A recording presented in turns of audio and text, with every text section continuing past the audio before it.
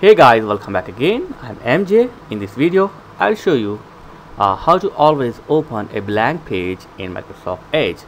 For example, whenever I open Edge browser, it will show me some stories and news. So if you don't want to show on this home page, just click on hide feed like this and then simply click on hide my news feed okay and then simply save so from now it does not show any of news and stories on your homepage.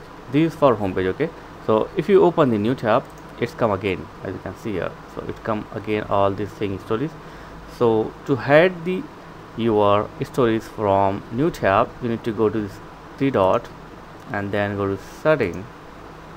And here in the section of open new tab with selected a blank page that's it. Now I'm going to try the new tab and boom that's it. As you can see here nothing is showing all is blank.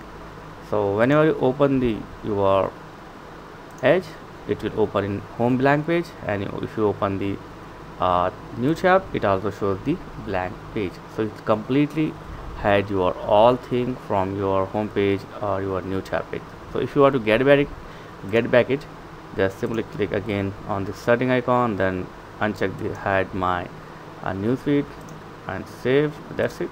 And for new tab do the same. Go to three dot then setting. And in the new tab select the top story that and close it. Okay. Yeah these are simple thing. I uh, hope this will help you. Thanks for watching. Catch you next video. Uh, please like share and subscribe. Thank you very much